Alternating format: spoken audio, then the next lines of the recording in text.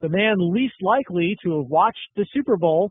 It's sack time! Roseanne Barr, Roseanne Arnold, Roseanne, whatever the hell your name is, you owe me bad, girl. Yes, you do. Yes, you do, girl. You owe me so bad because I wasted so much of my day coming to the taping of your wannabe talk show saying you're going to be bigger than Oprah. You're not even close, Roseanne. You're halfway in Canceledville.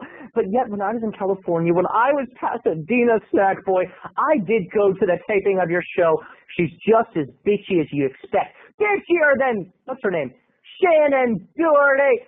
Maybe even bitchier than Martha Stewart, people. I would love to see Roseanne Barr and Martha Stewart in a celebrity death match. I'd love it! It begins. We're all excited to see Roseanne. All this this comedian comes out and puts the audience in a great mood. We're like, yeah, we're gonna see Roseanne. She's so bigger than life. She's so Vegas. so out comes Roseanne, and we're all clapping. There she is.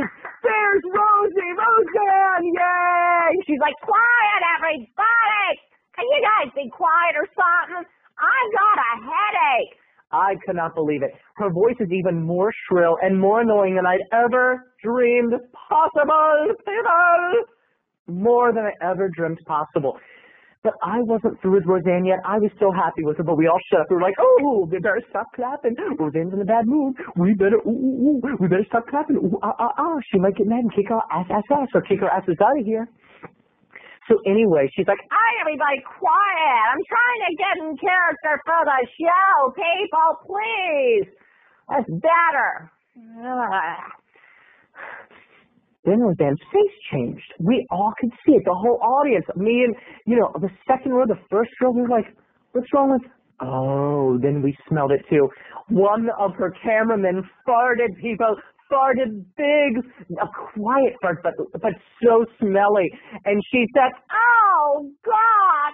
Eh. She's like, "Did you fart again?" And he's like, "I'm sorry, Roseanne. I'm sorry." She's like, "I'm doing a show in five minutes, and I can't believe you fart." Ew.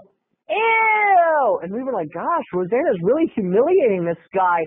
You know, Save your bad ass later. I pay you good money to film this damn show.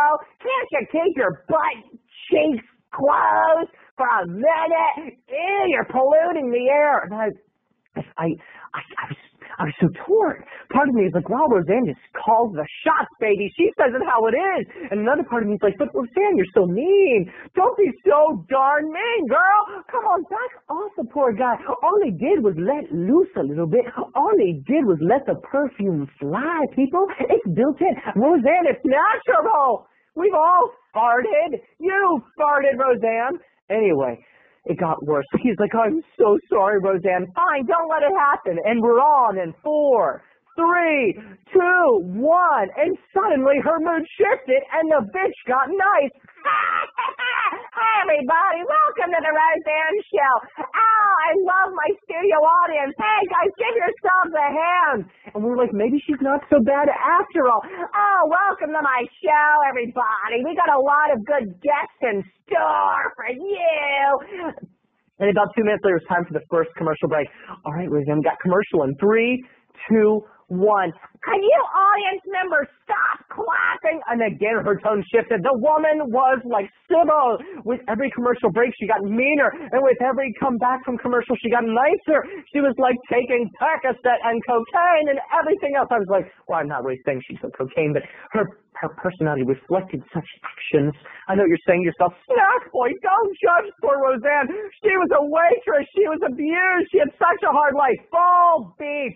Lick my balls, Roseanne. I don't have to put up with your crap. Commercial break. Can you audience members stop clapping? I've got a headache.